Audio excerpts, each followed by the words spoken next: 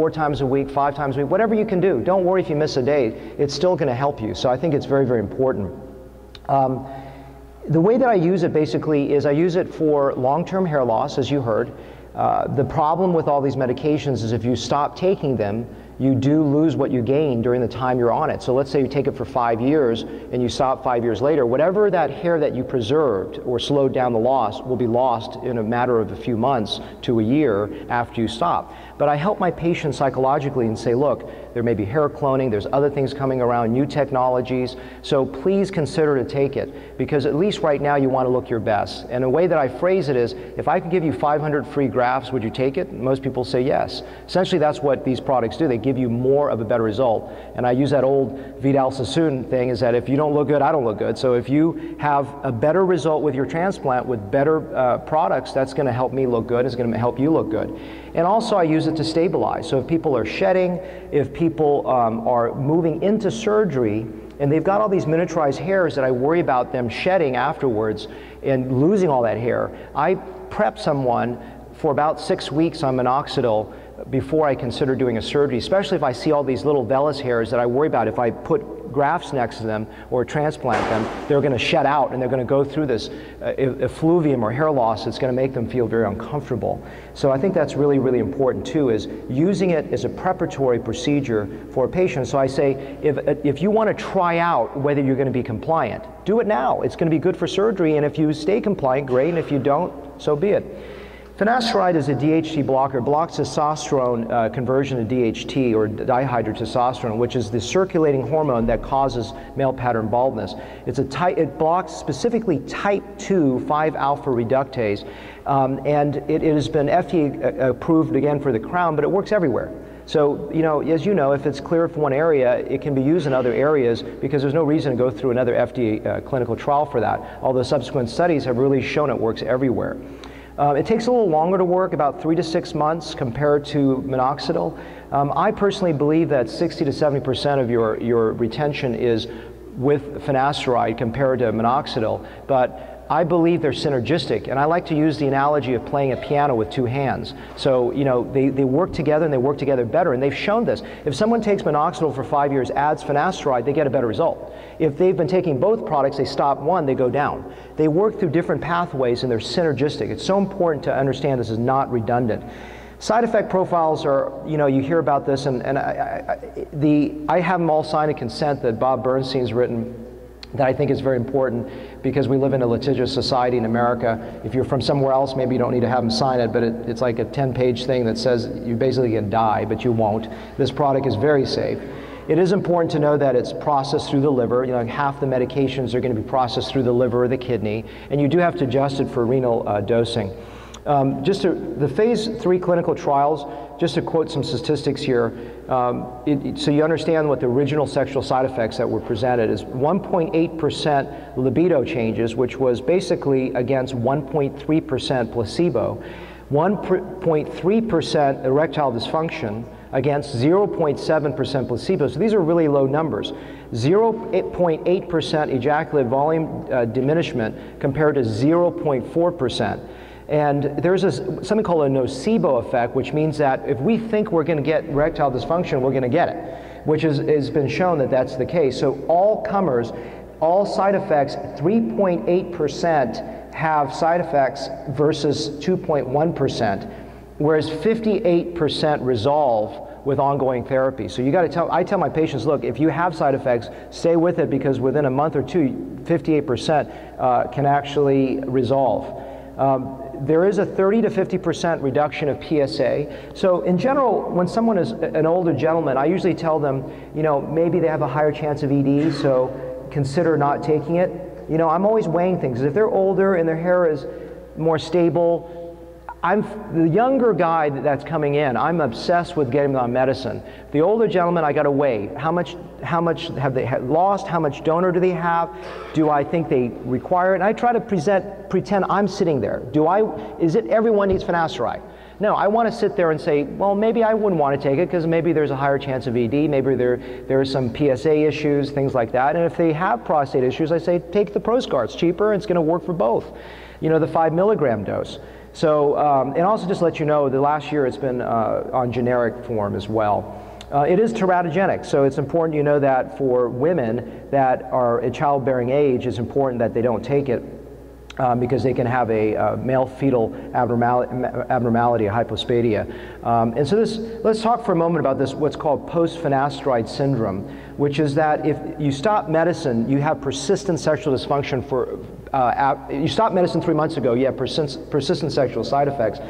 Uh, this all started with the Journal of Sexual Medicine in 2001 and 12, and 2011 and 12, and Merck uh, put a package insert in 2012 that basically said that you know okay there can be this link, but all even the uh, North American Sexual Society has shown that there's no clear causal link, and that's important you tell your patients that. In my clinical experience, I've had one patient from England that had it in his mid 40s, and I haven't seen anyone else complain of persistent sexual side effects, but it's important to at least bring up what's on the internet because your patients are going to mention this. Other thing is that there's some confusion. In 2005, there was a prostate cancer prevention trial, or PCPT, that showed that the five milligram dosing had a 25% reduction of prostate cancer uh, against placebo, but there was also this question of whether there was a higher Gleason score, which means a higher, more malignant type of cancer being generated using uh, finasteride. There was a there was a thought that actually this was artifact since the way that the biopsies are taken is random. And so when the prostate size gets shrunk and you, you take random biopsies, there's a higher chance of actually seeing these, these cancer risks. But the nice thing is in, the, in 2013, the most recent study showed no long-term mortality increase in the, P, the recent PCPT. Other things to know is that there's no increased breast cancer risk, uh, that because there's some concern about that, and the recent studies have shown there's no increased breast cancer risk. There, if someone is on an SSRI uh, for depression, they may raise their anxiety or depression levels. And the most recent five milligram dose uh, study in Korea in 2011 showed that there, there can be potential improvement uh, in, for, for women in postmenopausal situation. And so this has been a, a thing that's been back and forth whether it helps women or not. Most recent study says it can. Avodart is a DHT blocker that blocks both type 1 and 2. Remember, finasteride only blocks type 2, so it really reduces 90 some percent of fl uh, floating or circulating DHT compared to about 60 some percent for uh, finasteride. There's been uh, 2006 phase 2 clinical trials that showed 33% greater improvement over finasteride, but only Korea is, has undergone phase three clinical trials that showed significant improvement in six months uh, without really an increased side effect profile. And in 2014, they had a multi-center study, multi-country study, nine countries, that showed improvement as well. The one thing you need to know about Avodart is that it is, has a much longer serum half-life of about five weeks, 10 times longer than finasteride. Um, and because of that, if you're going to give blood, you have to wait six months after cessation to, to, to give blood because you can donate to a female that could take it. Um, the side effect profiles are very similar, except there could be prolonged uh, redu reduction in sperm count. Personally, I don't really prescribe it, but it's something that someone's very desperate, younger patient wants really a, a greater reduction in DHT, this can do it. Viviscal, I do prescribe uh, or do sell at my office. It's a marine extract, so if someone is allergic to shellfish, uh, you have to be careful. It works in both sexes, but it actually works better in women. What I specifically use it for is to, to uh, treat effluvium or unstable hair loss when a female is losing hair. It's two tablets once a day for six months, and I believe it works. And my patients have reported it works better than minoxidil for them, but I use that in combination with minoxidil and laser for females that are, that are, that are losing hair. Um, I don't have a lot of uh, knowledge of spironolactone. Dr. Rogers here has written a great review article in 2014 in the Hair Forum. I encourage you to read that. Um, and it's, it's basically it's a potassium-sparing diuretic used for, for for women that have, it has an anti-androgen effect, so this is for women only. And it, it's for premenopausal women, it can be combined with uh, minoxidil, 50 to 100 milligrams for early cases, 150 to 200 milligrams for more advanced cases. And the, and the warning is that uh, it shouldn't be done taken with ACE inhibitors or SSRIs. You have to monitor your sodium potassium levels. To me, this is a little bit more involved. I, I am really more of a surgeon, so I usually write a letter to a dermatologist and say, hey, uh, I think this, uh, this woman would be a good candidate uh, for spironolactone. Can you help me prescribe and monitor her and make sure there's no contraindications? Biotin is a food supplement. It, it, it is, I, there's no clear evidence whether this works. Um, I don't, this can be over the counter, you can get this on Amazon. I don't uh, routinely tell my patients to use this, but if they say, hey, is there something, any of supplements, this can help uh, potentially, but I don't, uh, I don't suggest it per se. Saw palmetto is a uh, natural product that only one study that I know of in 2002 has shown it could help uh, in a randomized placebo-controlled study. Um, I don't sell it, I don't, I don't prescribe it. You can get it, I believe, over the counter, but I don't really uh, promote it. I don't know if it really works. You're going to hear all these things that patients will come and talk to you about. And the reason I mention all these is because someone's going to say, hey, doc, what do you think about Nioxin? And, you know, I don't know if it works. I, I think, I always say if it's not going to hurt and you want to use it, use it. And that's my philosophy with this. You know, it's a botanical product that works uh, through helping with amino acids and vitamins and things like that. And I, I don't know if it works, but it may. And if you, and I always tell my patients, try it, tell me if it works. If it works, I want feedback. And that's something where you learn. Laser therapy, I have a whole lecture on this, uh, so I'm not going to get into this, but in my clinical experience in the last two years has really helped my practice a lot in, in stabilizing hair loss and, growing hair um, with or without other medical therapies. Uh, and I'm just giving you an overview. PRP injections have really helped, uh, definitely surgically. Uh, in terms of a standalone procedure, I'm still working through some protocols for a definitive answer to the, to the extent of, of its benefit, but I will say that I have a whole lecture on this as well, so I'm not going to get into this. And uh, don't forget topical fibers. I mean, my patients have this wow effect when they look at this and they go, oh my God, I have hair now. So this is great for that younger patient, particularly who can't have surgery, who's so depressed, and you put this in their hair, all of a sudden you see a smile on their face. This is amazing. Or you come, they, they, or they're shedding after a surgery, they're panic. I tell all my patients before surgery, by the way, we've got this fiber that can help you. If you start to shed, or if you start to thin a little bit, we can fix that problem. That way it's in their head and they, they, they think about this before they actually uh, come to, uh, I mean, after the surgery, so they don't get worried about this, this shedding. So this is, you know, I've given a lot of medications up here, and, and they're meant to give you an overview. And this is going to be on my YouTube channel, so if you said, my God, he's covered a lot of ground, don't worry. My goal is to give you an overview because you're going to be asked this. Hey, doc, what do you think about biotin? What do you think about saw palmetto? What do you think about all this stuff? And so this is what I use on a, on a practical daily basis, and some Viviscal as well.